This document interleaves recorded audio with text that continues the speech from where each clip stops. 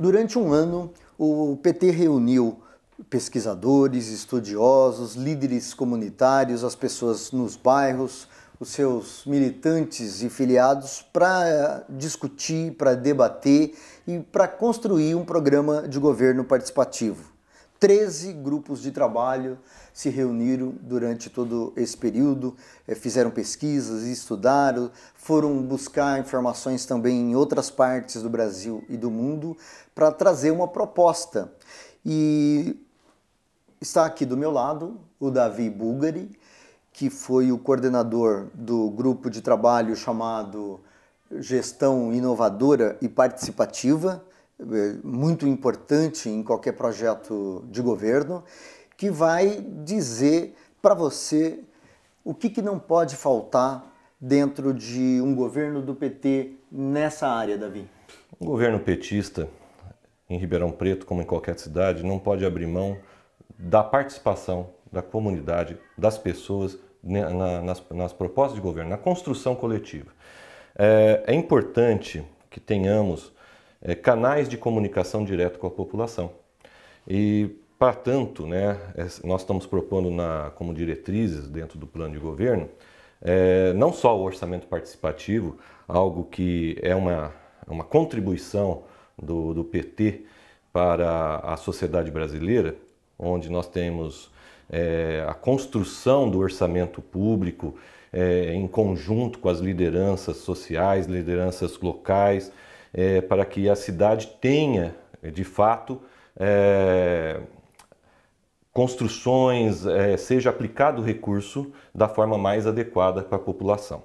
Fora o orçamento participativo, nós prevemos a ampliação da participação da população, não só através dos conselhos de políticas públicas, mas também com canais abertos de diálogo com a população, onde o prefeito poderá abrir enquetes, é, discutir diretamente problemas e, que estão em foco naquele momento da gestão. É, ter a, a, a participação popular não, não, não só vai enriquecer, como dará ao governo, futuro governo, nosso governo, uh, um maior uh, desprendimento das coisas políticas e centrar nas necessidades da população. Agora, o PT em Ribeirão, nos seus dois governos, trabalhou muito bem a questão do orçamento participativo. As pessoas mais de uma certa idade para cima ah, em Ribeirão Preto tem saudades desse tempo onde ela era ouvida é, para opinar sobre o futuro da cidade, o que deveria ser feito, ah, e de repente isso se perdeu. Agora o PT busca e vai conseguir certamente um terceiro governo, num novo tempo onde o digital está muito presente. O que, que deve ser a, a proposta do PT a partir desse novo cenário em que se vive? Como o orçamento participativo, por exemplo, pode dar um novo passo? Bom, é fato, orçamento participativo é a melhor ferramenta de gestão para qualquer governo, principalmente para os nossos petistas. É, hoje, a tecnologia nos permite estar muito mais próximo do cidadão.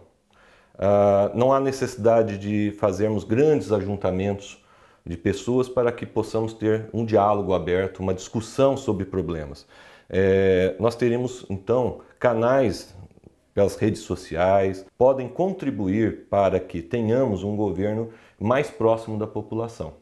É, não só as redes sociais como Facebook e outras, o WhatsApp, mas outros instrumentos que venham a ser criados pelo próprio governo municipal através da sua Companhia de Desenvolvimento Econômico, a CODERP, que poderá, será um primordial para que a gente possa levar até a população todas as, as, é, levar para a população não, a gente buscar junto à população todas as, as informações para que a gestão seja a melhor possível. Algo que é fundamental uh, e é um compromisso do PT é, no campo da ética, além da, aumentar a possibilidade de participação, dar maior transparência na divulgação dos dados, é criar uma maneira de monitorar, acompanhar e agir com a firmeza que é necessária para enfrentar uh, a corrupção. O, o PT em Ribeirão tem uma proposta bastante ousada e importante nesse sentido, que é a Controladoria Geral do Município. Como é essa proposta, Davi? Bom, é primordial. Qualquer gestão pública deveria adotar é, uma, um, o princípio né, do, da controladoria. É, a gestão pública ela se pauta é, pela eficiência e eficácia do gasto público. A controladoria é, foi criada em, na, no, no, governo municipal de São Paulo pelo companheiro Haddad e aqui em Ribeirão Preto nós temos uma proposta de lei do Beto Canguçu que o governo atual não, não acolheu e que dá, dará, eu garanto que no governo petista será implantado, é, dará transparência em todas as contas públicas, dará a certeza do melhor aplicação do recurso público, dará à população o controle efetivo de quanto é gasto, no que é gasto e por que é gasto. Que esse, esse controle social é muito importante. Não só um partido estar à frente do, do no governo, mas sim a população de uma forma geral. É, hoje nós temos instrumentos garantidos por lei federal, uma lei é, implantada pela presidente Dilma, a lei da transparência pública, e que em alguns municípios ainda não está bem transparente né, essa causa. E, e cabe ao cidadão, e é direito dele, saber como é aplicado o recurso.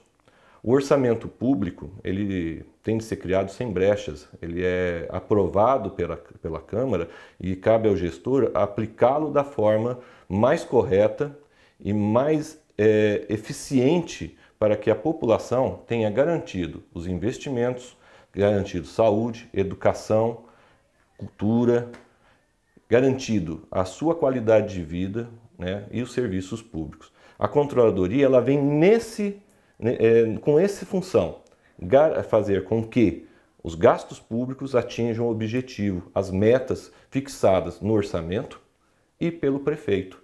O prefeito é o nosso garantidor, a pessoa do prefeito é, é o garantidor da controladoria. Ao mesmo tempo e ao lado é, de pontos fundamentais num bom projeto de cidade, que é a transparência, o combate à corrupção e uma democracia participativa, que é uma, um emblema de toda a gestão do PT, há um tema fundamental, sobretudo em Ribeirão Preto, que é a questão da modernização da gestão, uma gestão inovadora e a máquina pública. O, como se sabe, é, nos últimos anos o orçamento de Ribeirão Preto cresceu muito ah, e, ao mesmo tempo, as últimas gestões quebraram a cidade. A cidade produz um déficit anual orçamentário, não tem dinheiro para investimento, uh, tem feito praticamente nada e entrega para o sucessor uma cidade abandonada. Uh, qual é o, o que, que, não pode faltar e é diretriz, portanto, é, do PT nesse tema de gestão inovadora participativa no que diz respeito a essa gestão que seja realmente inovadora?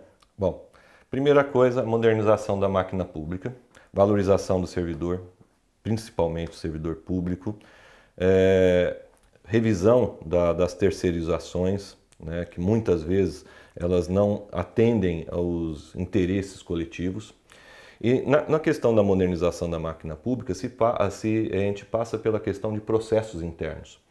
É, nós ainda trabalhamos, não só no, na Prefeitura de Ribeirão Preto, como no Estado, como uma, uma forma geral, com processos da década de 30, processos de trabalho da década de 30. A, a informatização do, dos processos de trabalho, assim como foi, vamos dar um exemplo, assim como na Receita Federal já foi implantado, é, dá uma agilidade né, e com isso há uma economia não só de tempo, mas como de custos. Outra questão é, muito é, que poderá contribuir na questão orçamentária é que a redução de custos com a, a informatização ela dará a possibilidade de maximizar a mão de obra do, do, do trabalhador, com menos esforço desse servidor, é, e um melhor atendimento da população. Nós pensamos, e está na, na, na, proposta do plano de governo, a criação de centros integrados de atendimento ao cidadão.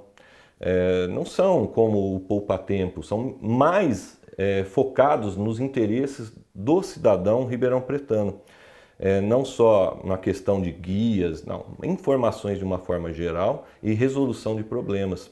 Problemas na área social, na área de educação, problemas tributários. Ou seja, cada é, centro desse estará ligado a uma administração regional, descentralizada, com amplos poderes é, dados, delegados pela, pelo prefeito, junto com né, fará parte da, da sua equipe, é, de intervenção de modo a melhorar a qualidade de vida daquele grupo social. Né? Então, imagina uma cidade, cinco regiões administrativas, onde cada região dessa, o, esse coordenador tenha como objetivo melhorar a qualidade de vida, levar serviços públicos com competência e qualidade e eficiência. E, além de tudo, promover a inclusão social e econômica dessas populações, para que a gente tenha uma, uma sociedade mais igualitária. O que hoje nós temos em Ribeirão Preto é uma sociedade, é uma cidade, na verdade, dividida entre um lado muito ostensivo e um lado esquecido da cidade, que é a cidade mais antiga. É, a, o equacionamento disso se passa por uma, uma intervenção administrativa e, e, de serviços públicos destinados a essa população, é, que ela precisa muito.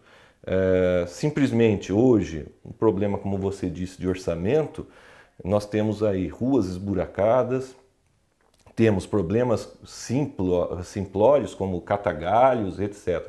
É necessário implantar é, parcerias com a sociedade, onde a sociedade nos ajude a construir soluções. E não só a, a questão econômica está ligado aí. Né? A aplicação do recurso público, ela com certeza será muito mais bem é, realizado tendo essas ferramentas de gestão. Obrigado, Davi. Davi é gestor público, funcionário de carreira da Prefeitura Municipal e um grande conhecedor da máquina e da gestão administrativa.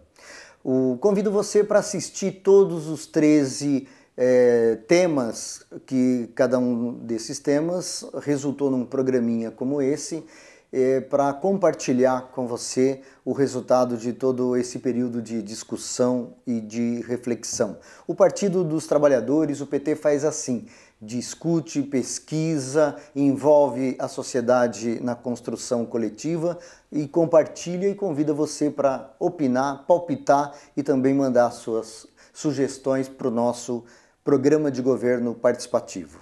Obrigado. Você sabe, na hora em que precisa, é com o PT que você pode contar.